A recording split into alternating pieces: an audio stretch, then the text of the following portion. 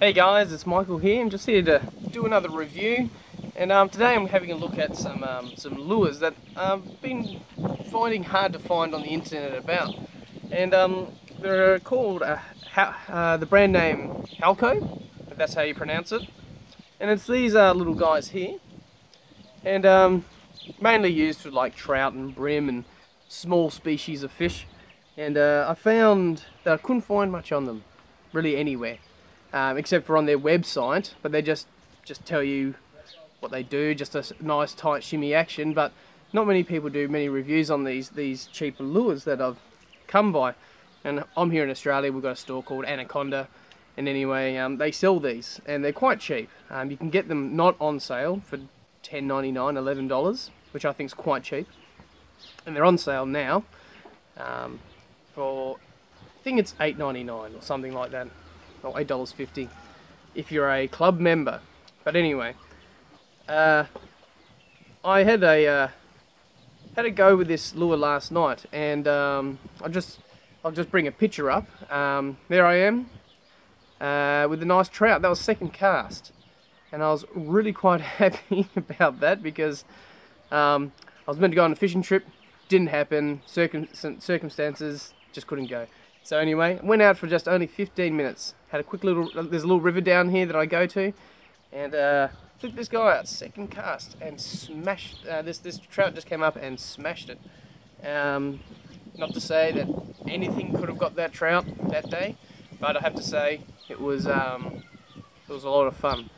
So anyway, um, just on the lure, they don't look like your kind of stock standard minnow for trout. They're a little bit different. They've got this kind of fat tummy through here and uh, they're quite quite straight. And and the one thing that this lure has over quite a lot of the other ones that I see for trout lures is it's got a huge bib on it but that still only dives to one meter which um is, is really good because uh, for trout fishing you, you don't for where I fish at least uh, deep uh, you don't have very deep lakes here in Tasmania um, they're really only about one metre to one and a half metres, most of the western lakes where I fish, and most streams.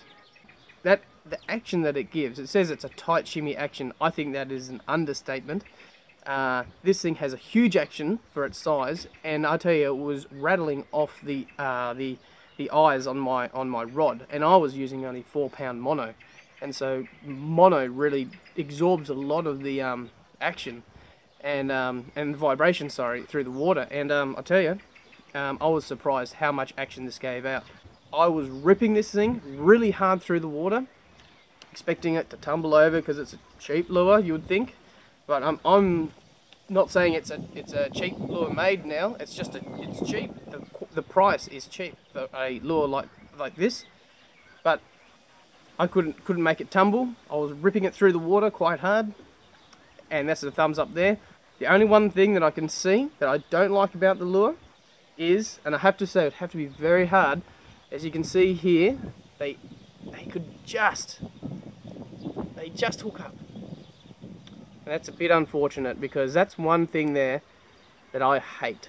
That there. You've done a, a big cast and it hasn't happened yet, but you've had a fish hit your lure, hit my lure, it hasn't hooked up because of that. That's one thing that I don't like about it. But that's about it. I think it's a fantastic lure for its price. It's got good weight. It's about three and a half grams, I think.